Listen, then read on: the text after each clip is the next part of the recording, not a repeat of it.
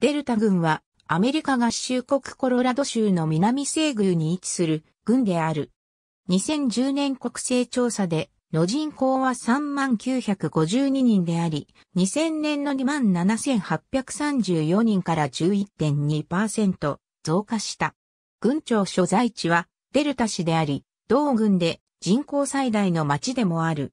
アメリカ合衆国統計局によると、この郡は総面積2975平方キロメートルである。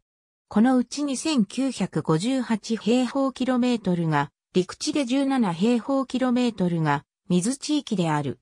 総面積の0.56%が水地域となっている。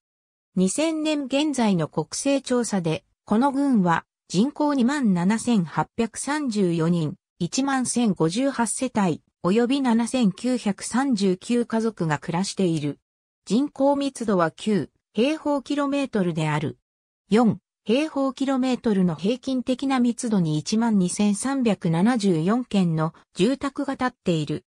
この郡の人種的な構成は、白人92.29%、アフリカンアメリカン0.52%、先住民0.76%、アジア0.32%、太平洋諸島系0.03%、その他の人種4.25%、及び根血1.83%である。この人口の11.39%はヒスパニック、またはラテン系である。この郡内の住民は24.00%が18歳未満の未成年、18歳以上24歳以下が6.30%、25歳以上44歳以下が23.60%、45歳以上64歳以下が26.50%、及び65歳以上が19.70%に渡っている。中央値年齢は42歳である。女性100人ごとに対して男性は100.80人である。18歳以上の女性100人ごとに対して男性は98.60人である。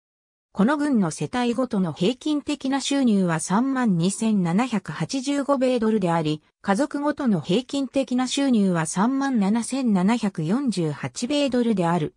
男性は31,348米ドルに対して、女性は19,916米ドルの平均的な収入がある。この郡の一人当たりの収入は17,152米ドルである。人口の12.10%及び家族の8.50%は貧困線以下である。全人口のうち18歳未満の15.00%及び65歳以上の9.60%は貧困線以下の生活を送っている。星草の山と桃つまみの自動車、1940年撮影シーダーエイジの開拓村、2008年撮影。ありがとうございます。